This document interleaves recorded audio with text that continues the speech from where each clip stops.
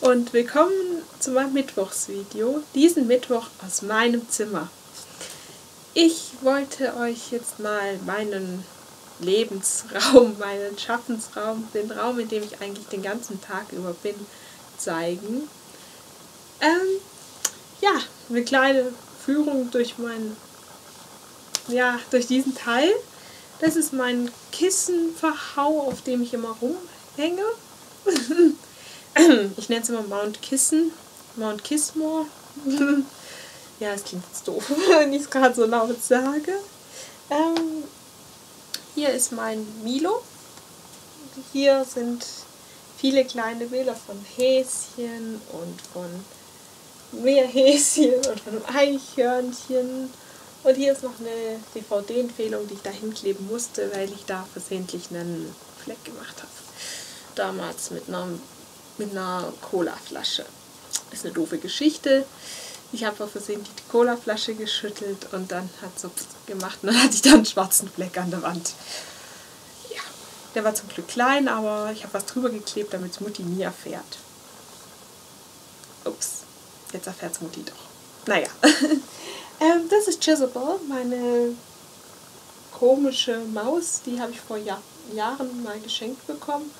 Und die hängt da jetzt seitdem immer rum. Ähm, dann habe ich da noch ein paar Lernspaß-Teddybären. Die habe ich noch seitdem ich ein Kind bin. Und der Teddy hier, direkt hinter, ähm, den habe ich von meinen Großeltern mal mitbekommen. Den mit dem T-Shirt und den da hinten, das ist mein allererster Teddy, den ich so geschenkt bekommen habe. Und da dahinter ist dann nochmal einer, den habe ich mir mal gekauft irgendwo. Ich weiß aber auch nicht mehr warum, aber der ist da halt immer.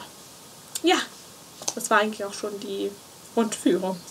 Ah, und hier habe ich noch ähm, meine geliebte Janus-Decke. Ja, und dann habe ich noch mal eine Decke, noch mal eine Decke und noch eine Decke, weil ich friere mal ganz gern. ja, aber das ist ab jetzt der Blick, den ihr öfters zu sehen bekommt und den ihr vermutlich ein paar Monaten satt habt. ähm, aber eigentlich wollte ich mit euch über was anderes reden. Ich wollte mit euch über Erschöpfung reden. Ähm, ja, dann habe ich mir überlegt, ob ich mit euch über Regen rede, aber irgendwie finde ich das komisch. Also was ich zum Thema Regen sagen kann, ist, dass es bei uns seit drei Tagen Dauerregen hat. Ist also wirklich schräg, da kommt es runter wie aus einer Dusche und also es ist schön natürlich für mich, weil es dunkler ist und ich dadurch endlich mal mich ein bisschen erholen kann, weil jetzt nicht diese grelle Sonne da ist und mein, mich zusätzlich belastet.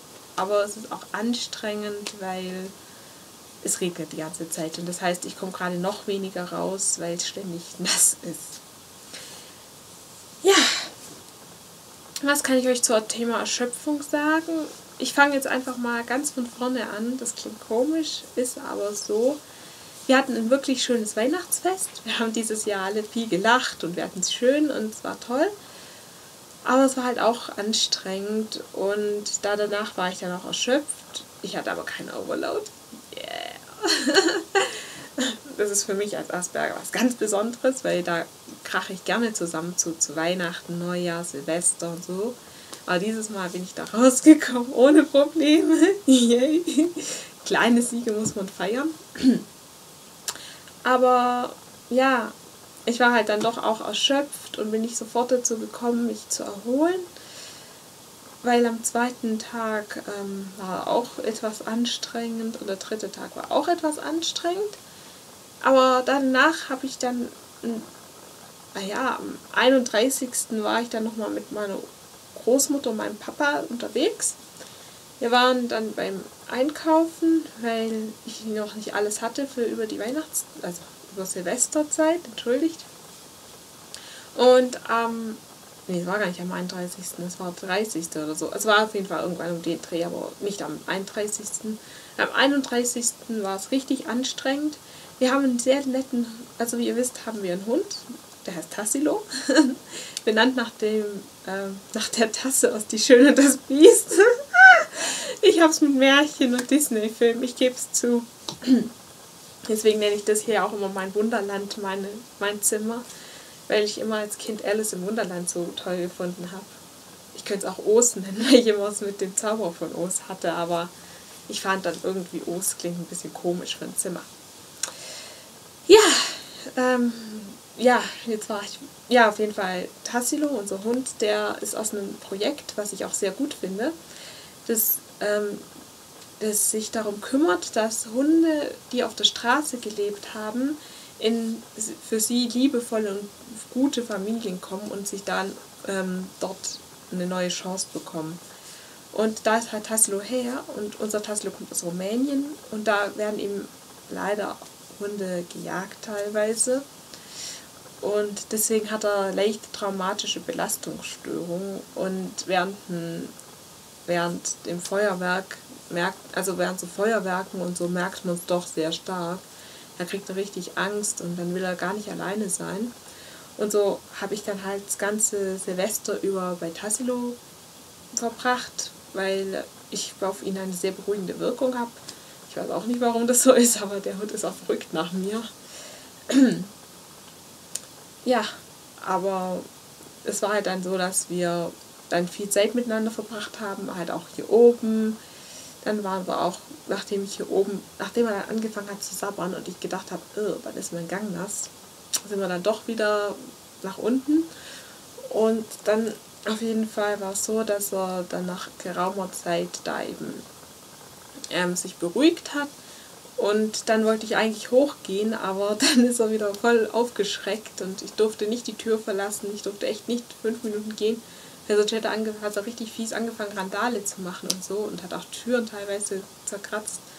Also bin ich das ganze Silvester über unten gewesen, was für mich auch sehr anstrengend ist, weil ich eigentlich von meiner, von meinem ähm, Problematik her auch lieber zu Hause oben gewesen wäre unter meine Decke geschlüpft wäre und die ganzen Lärm ausgeblendet hätte. Aber so bin ich halt dann beim Hund geblieben. Ähm, es war dann auch so, dass am ersten Tag, also am ersten durfte ich auch nicht besonders weit weg von ihm. Da war er auch noch ganz schön aufgewühlt und wollte am liebsten, dass ich, also der fast, also ich hatte manchmal echt Angst, dass der gleich auf mich drauf springt und dass ich den dann huckepack durch die Gegend schleppen muss. Das wäre ein bisschen schwer geworden. Sind wäre ich viel zu faul gewesen. also ich durfte mich auch am, zwei, am 1. Januar noch nicht wirklich viel von ihm wegbewegen. Am 3. war es auch noch sehr anstrengend. Obwohl am 1. kommen wir nochmal da zurück, da waren meine Großeltern noch zu Besuch. Dann haben wir da halt mit denen noch etwas gefeiert. Da gab es halt ein bisschen Kaffeekuchen, war auch schön. Und dann am dritten durfte ich immer noch nicht besonders weit weg vom Hund, aber ich durfte schon wieder mehr weg. Und dann habe ich auf jeden Fall, ab, ab dem dritten habe ich dann auch wieder angefangen, mich um meine Sachen zu kümmern. Ähm, entschuldigt mich eine Sekunde, jetzt muss ich gerade gucken, welchen Wochentag der dritte war. Äh, nicht, dass ich jetzt was Falsches sage, das ist jetzt. Ähm, Sekunde, Sekunde, Sekunde. Äh, ja, am dritten, ähm, da ich bin schon ab dem zweiten nicht mehr so viel beim Hund gewesen. Am zweiten war ich schon wieder unterwegs. Und da musste ich mich auch noch darum kümmern, dass, dass mein iPod blöderweise kaputt gegangen ist. Und ich jetzt ein etwas neueres Modell habe. Da muss ich mich gerade also auch noch umgewöhnen. Ah, ich hasse sowas. Ja, und am dritten, da habe ich mich dann das erste Mal ausruhen können, ansatzweise. Und das habe ich dann auch gemacht. Und ja, jetzt ähm, heute am 6., also gestern am 5. habe ich angefangen zu merken, dass ich jetzt langsam langsamer machen muss, weil ich so diese ersten Zeichen von Overload habe. Sowas wie, dass ich total verpeilt bin, was ich wiederum daran merke, dass ich mir eine, eine leichte Baldrian hinlege und dann aus dem Zimmer gehe und dann plötzlich die Baldrian verschwunden ist und ich keine Ahnung mehr habe, wo ich die hingelegt habe.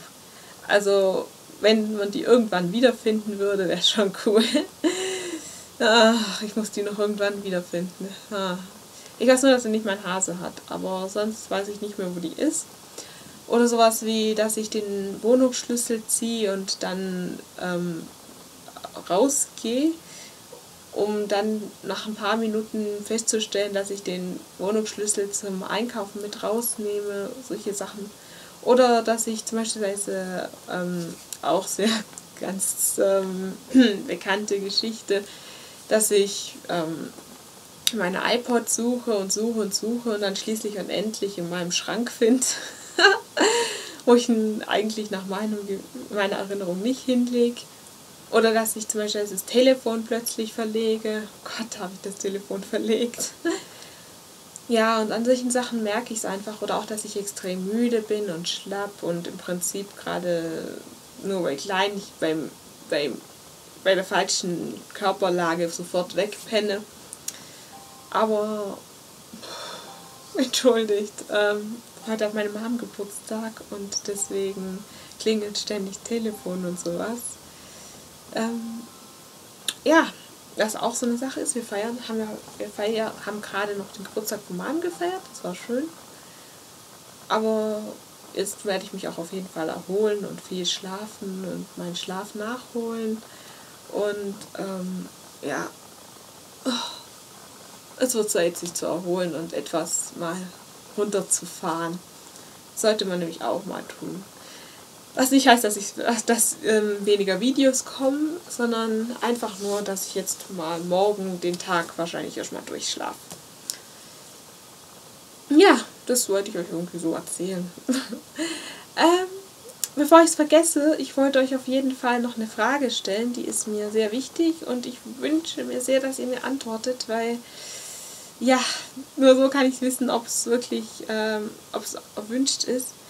Ich wollte euch fragen, ob ihr es eine gute Idee findet, wenn ich euch mal etwas mehr in, meinen, in mein Leben, von meinem Leben zeige, in mein Leben integriere, ähm, mehr an meinem Leben teilhaben lasse, indem ich euch einfach ein bisschen, indem ich einfach die Kamera ein bisschen mitnehme.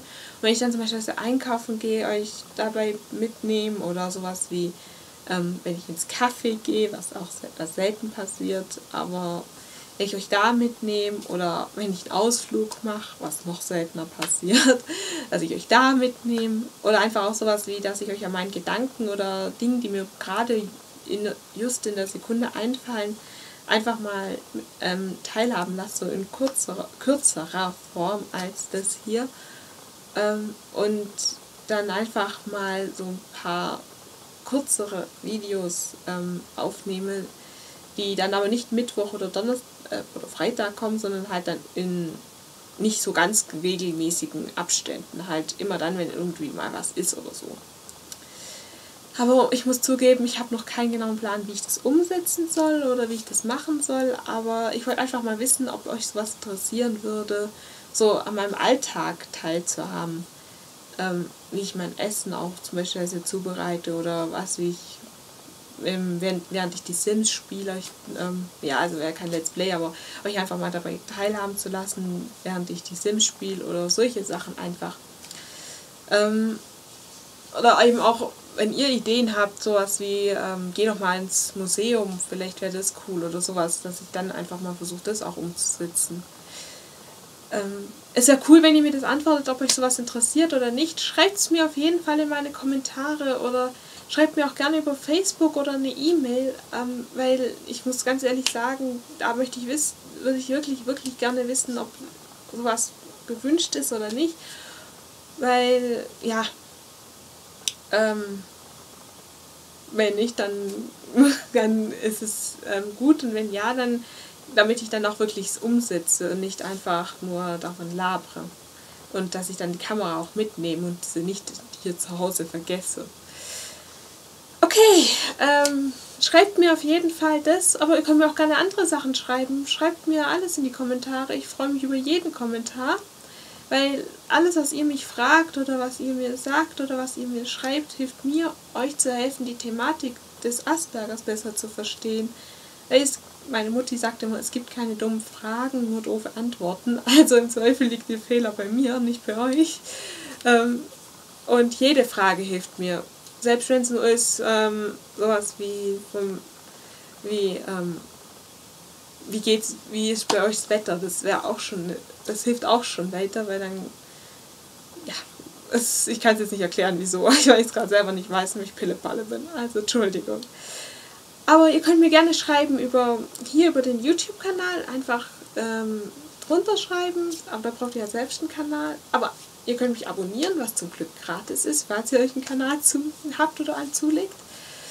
Ähm, Ihr könnt mir aber auch gerne über Facebook ähm, schreiben, das ist dann die Ella Bella Flor oder eben auch über E-Mail, das ist dann die bell.riedmeier.outlook.com und ähm, ich werde euch das aber alles auch nochmal in meine Infobox reinschreiben und bitte, ich bitte euch wirklich dieses Mal mir zu antworten, ob das euch interessiert oder nicht, weil das ist mir wirklich ähm, ein Anliegen, das rauszufinden. Ich werde euch vielleicht auch noch eine Weile lang mit den Videos mit diesem Thema nerven erstmal. Aber wir sehen uns dann am Freitag und ich hoffe, Freitag. Und ich hoffe, dass ihr, dass ihr dann auch wieder einschaltet. Also dann, ciao!